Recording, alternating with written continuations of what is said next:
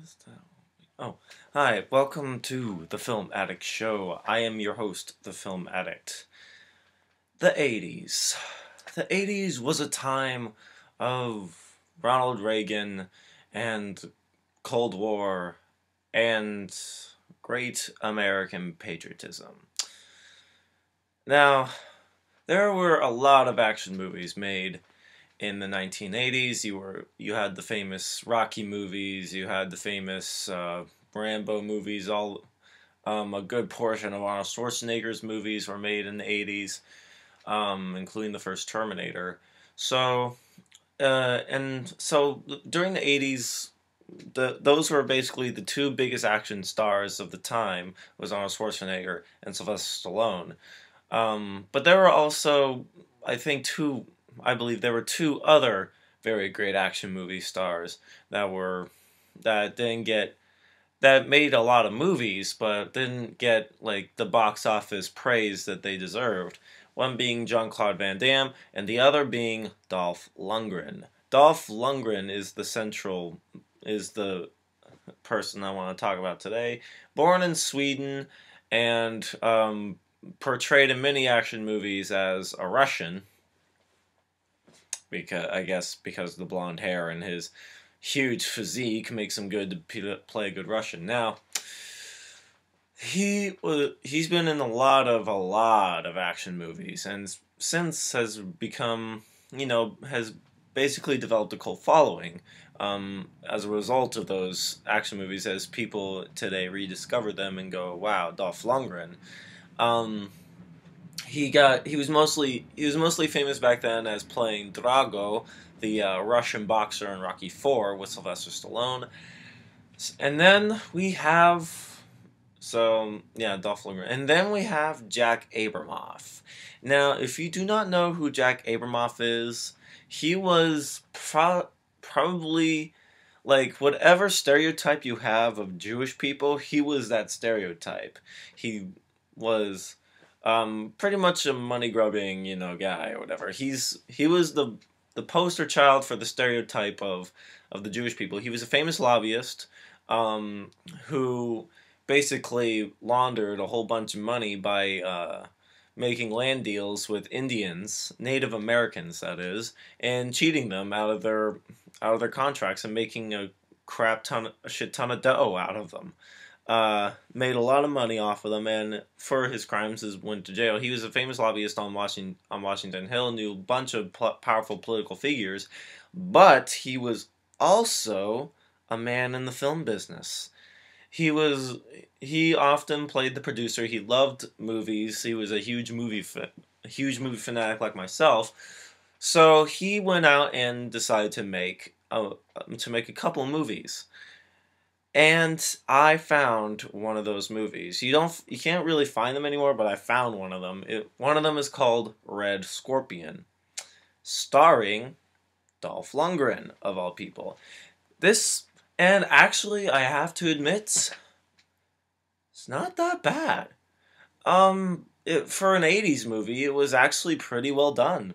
It had every uh, typical '80s. It, it had the it had the right ingredients for a good '80s action flick. You had uh, you had Dolph Lundgren, one of the one of the biggest action stars of his time. You had him playing a Russian. You had a Cold War. You had a Cold War era style movie. Um, tons of explosions, lots of guns. So lots of action too, and very little, very little important dialogue.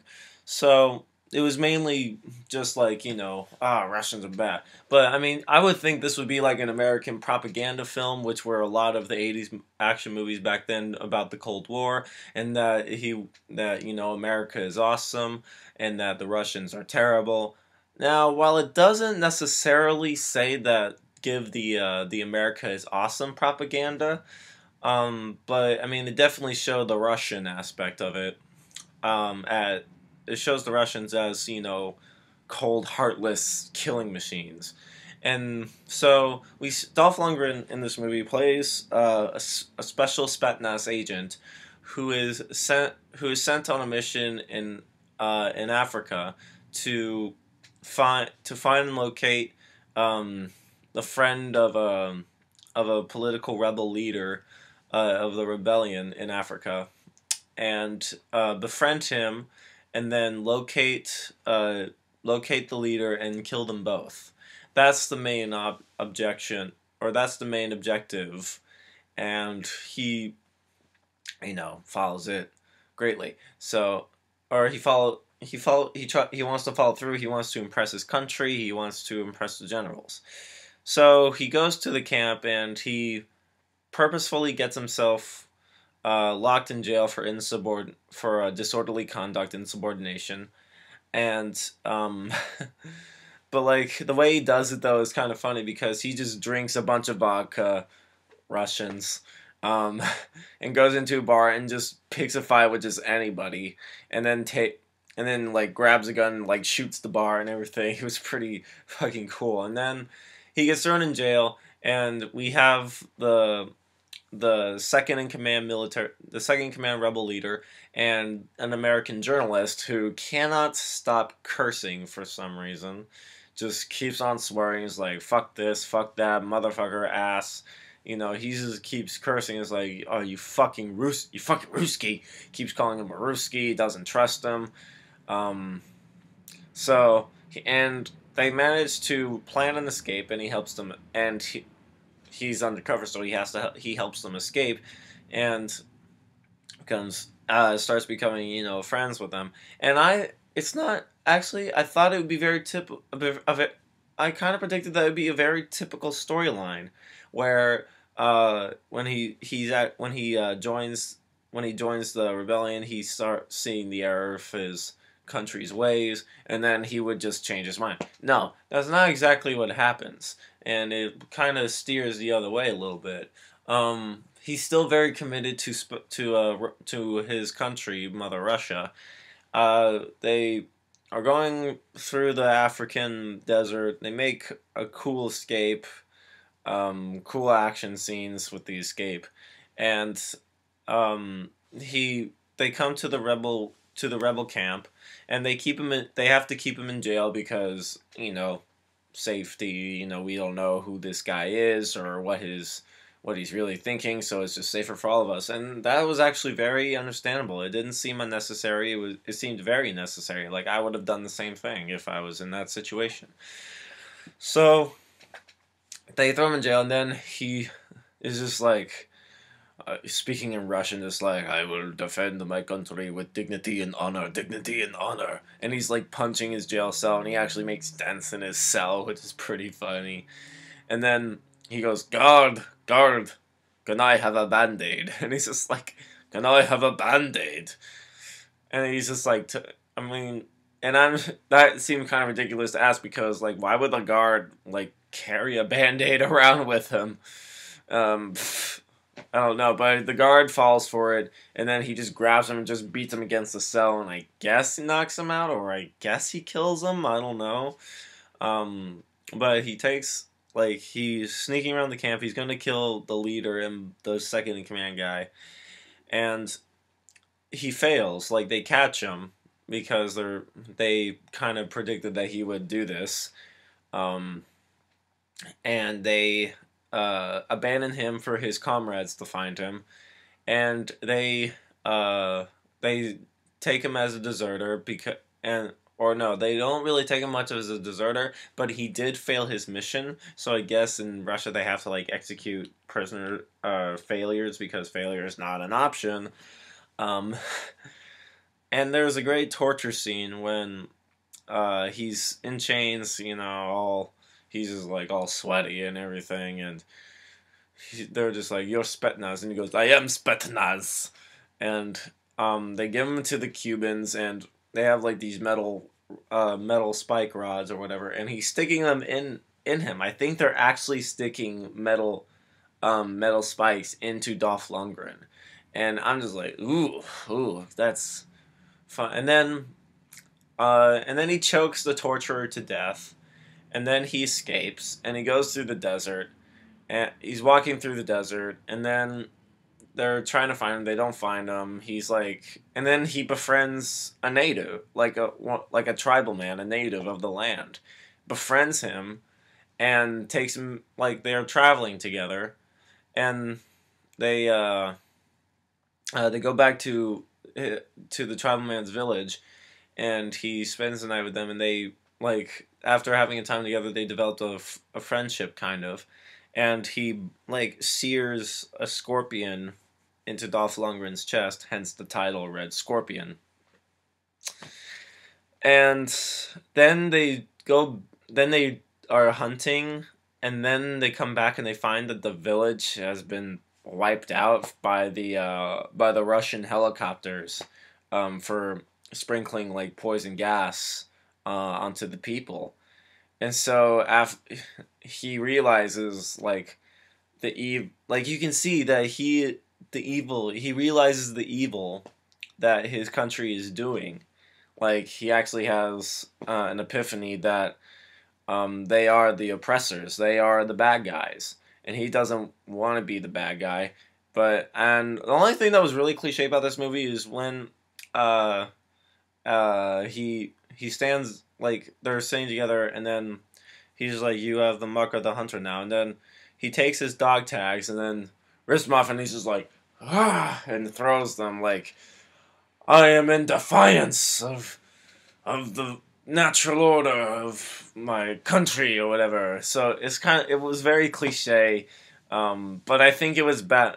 Like it's cliche now, but I think it wasn't that cliche back then to have that moment where you just take something and then you just deny everything and throw it up, throw it like you know in defiance of everything that you believe in. I think that was like um, that wasn't much of a cliche back then, but it's a total cliche now. So we have that, and then he, um, like he run, and then the Rush at at the same time the Russians find the rebel camp, and they're uh, shooting the hell out of it and blowing shit up. Lots of explosions, lots of explosions because it's an '80s movie, and so Dolph Lundgren is re- like is in nothing but like He's basically in underwear. He's basically in underwear running around with a spear. And he goes back to the rebel camp, and then he, uh, they have a funeral for the leader who gets killed within the, like, during the um, attack. And then they're like, what? They're like, we must give up. What are we gonna do? And then Dolph Lundgren does the coolest thing in the entire movie. He like a guy's offering back his spear, and then he takes the rifle and just goes, let's go kick some ass. I was like, whoa, that was awesome. Oh my god, Dolph Lundgren. That is badass. And so the and then like the next scene is just an immediate like full frontal assault on the Russian Russian slash Cuban base. And he's just like in freaking camo and his face is like camo and everything, and he's got a handkerchief on, and he's wearing a green vest and short shorts, and he has like a machine gun, and he's just like, they were just like shooting everybody, and it was like fucking crazy. And then like, and then he goes into the main headquarters, and then like, um, then the Cuban leader has like a grenade, and he pulls the he pulls the pin, and then Dolph Lundgren just shoots his arm off, and his arm is still on his hand is still on the fucking thing, so it won't explode. And I'm just like, whoa, that is totally unrealistic. But this is an awesome movie, so I don't care.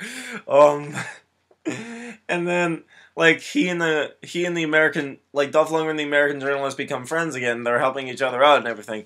And then like and then they kill a tank together, and then uh, and then like he he takes a machine gun. He's walking towards a helicopter where the Russian general is trying to escape, and he just goes, "You told me that we were fighting oppression." But I did. But I only found out that we were the oppressors. I was like, really, no shit. And he's like, I am not like you. And then he turns away, not killing the guy after shooting his helicopter. And then the Russian general is about takes out his pistol and he's about to shoot Dolph Lundgren, and then he just quickly turns around, shoots the helicopter, and it explodes. And they're just like, "Damn, Dolph Lundgren!" and then, um, and then they're walking away, and then the And he's like, yeah. The American Joe's like, fuck yeah. And then he goes, what do you think? And Lundgren's just like, fucking A. And that's it. That's the last line of the movie. It's just a fucking A. They're walking off together, Dolph Lundgren with a machine gun. Freeze frame it. And then we roll credits. This movie was actually not that bad. It was actually very entertaining. Um, for an 80s movie, it's very entertaining. Uh, not that, not much dialogue in this movie. Um, that could be worth anything, but it didn't matter. It really doesn't matter. I mean, when it, you're in an action movie, dialogue doesn't matter. It's all about the explosions. It's all about the fighting. It's all about you know badass motherfuckers just shooting shit, shooting and blowing shit up. That's all it's. That's all this movie's about, and it does it well. I think it doesn't fall into the um, traditional action movie like of the '80s. It has a great. It actually has a pretty good storyline, um, and it has not that bad of a character development. Only for the Dolph Lundgren character, not much for uh, for um for any other character. I mean, they only focus on Dolph Lundgren's character development, which I guess is all right. I mean, it doesn't really matter. Um, but holy shit. Like I, I suggest if like if you can find this movie, I found this movie on YouTube and I downloaded it. I say go find it. Um, if you're a huge Dolph Lundgren fan, I highly recommend this movie because it is one of, it is, you know, it's a Dolph Lundgren movie. Um, I mean, you got Dolph Lundgren there, bare chested, sweaty or oiled up or whatnot. I mean, what more could you ask for for Dolph Lundgren, you know? Um, so I say watch this movie. It's fun. I mean, it's weird because it was produced by Jack Abramoff, who goes on to be one of the most notorious lobbyists in American history, one of the sleaziest lobbyists in America's history. But you know, his time in Hollywood, not a not that bad of a time apparently. So, um, go watch this movie. It's fun. It's entertaining. Uh, and know that little fun fact about Jack Abramoff and um, enjoy Dolph Lundgren. He is badass. He's a badass motherfucker in this movie. Um, so just go see this movie. It's awesome.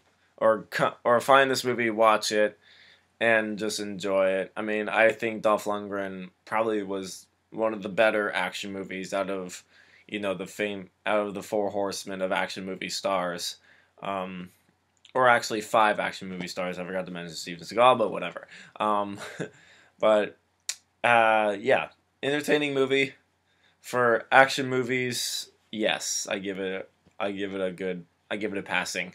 Um, don't take this movie seriously though. You don't have to take this movie seriously. So that's me. Uh, that's it. That was Red Scorpion. I am the film addict, and until next time.